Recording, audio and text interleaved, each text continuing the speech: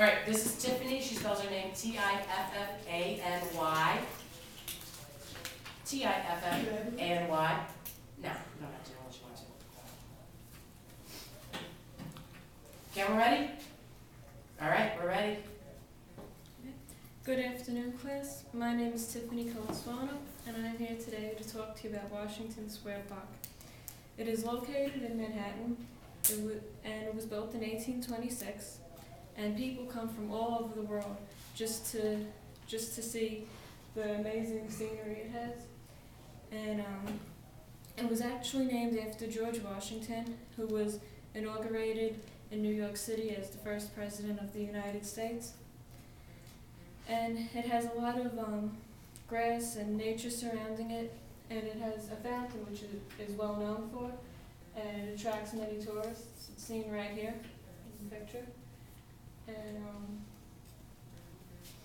and it also has has a famous um, arch that it's known for. It's called the Washington Arch, and you can see that right over here.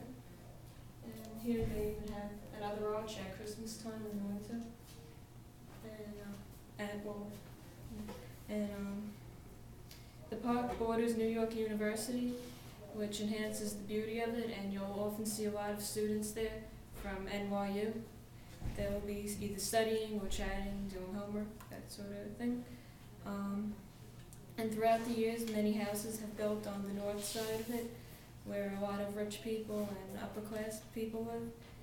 And um, there are there are different types of entertainments in the park. Some days you might see a juggler, like juggling, and um, another day you might see a magician performing magic tricks, or even a musician, such as a jazz a jazz musician or different singers. And there's always something to do there. There's always a different type of entertainment.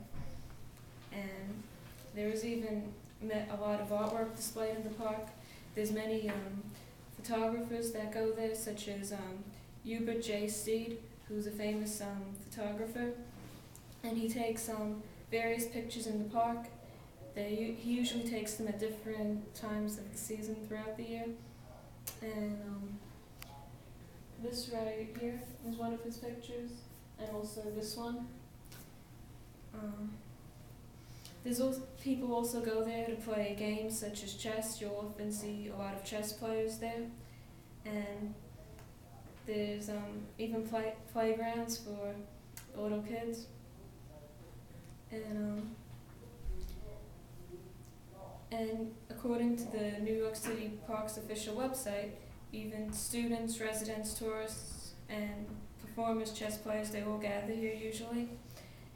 Um, and you will usually, as you walk through it, you'll hear music playing, um, whether it be jazz, blues, or just singing.